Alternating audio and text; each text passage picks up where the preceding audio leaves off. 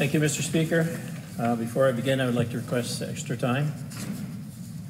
Mr. Speaker, I rise today to offer my sincere condolences to the family and friends of Susan Stultz.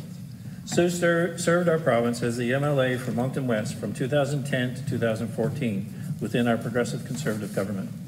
Monsieur le Président, pendant cette période, elle a occupé le titre de ministre du Développement social et de ministre des Services gouvernementaux. However, her impact on the community extended far beyond her time in the Legislative Assembly. As a business owner of an Irving Mainway for over 25 years, Sue made many lifelong connections with customers, their families, and the community around her. Mr. Speaker, Sue was affectionately known as the Turkey Lady. She began a turkey drive in Moncton in the 1990s that went on to help hundreds of families each Christmas and inspired similar drives in other communities. Sue had a passion for helping people and volunteered in countless capacities in her community. Elle a touché de nombreuses personnes et elle a amélioré sa communauté et notre province. Pour nous, les gens qui vivent.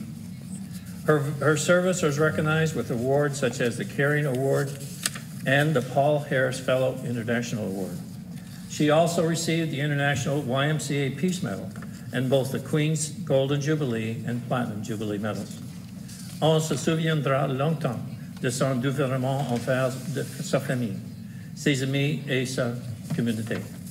Mr. Speaker, I invite my colleagues to join me in extending sincere condolences to Sue's husband of 53 years, Bruce, her children, grandchildren, and the rest of her family and friends who are grieving her loss.